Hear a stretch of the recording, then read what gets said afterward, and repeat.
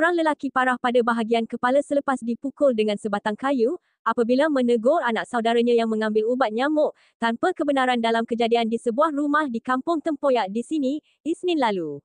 Dalam kejadian pada pukul 11.30 malam itu, mangsa yang berusia 55 tahun sempat berlari ke rumah adiknya yang terletak di kampung sama dalam keadaan berlumuran darah untuk mendapat bantuan.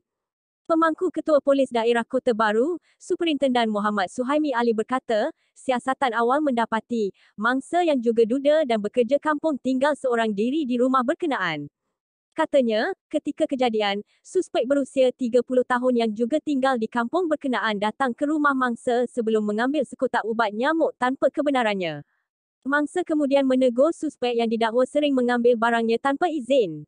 Keadaan itu menyebabkan suspek berang dan terus memukul mangsa di kepala menggunakan sebatang kayu sebelum melarikan diri. Mangsa yang cedera parah dan berlumuran darah terus menuju ke rumah adik sebelum memaklumkan bahawa dia dipukul oleh anak saudaranya sendiri, katanya ketika dihubungi hari ini.